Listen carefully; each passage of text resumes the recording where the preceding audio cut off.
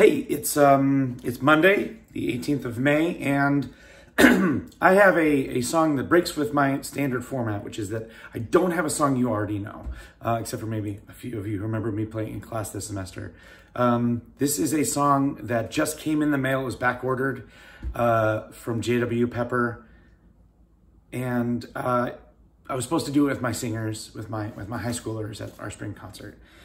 It's about mental health, and um, it's a song that I it really makes me think about all those students who I haven't seen at all or heard from at all since the 13th of March. Those are the ones that I really worry about, and so this is for them. Sorry, it's not one you already know, but I hope you like it. It's the opening solo from this song.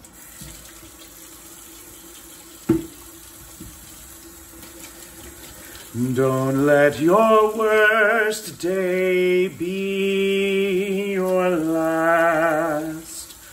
The storm is strong, but it will pass. You think you can't go on another day, but please stay. Just stay. Uh, there'll be a link in the description to a really amazing performance of this by a, a college choir. And um, this may show up in my high school curriculum sometime in the next few years. We'll see. But um, yeah, take care of each other. Check in on each other. Um, please stay.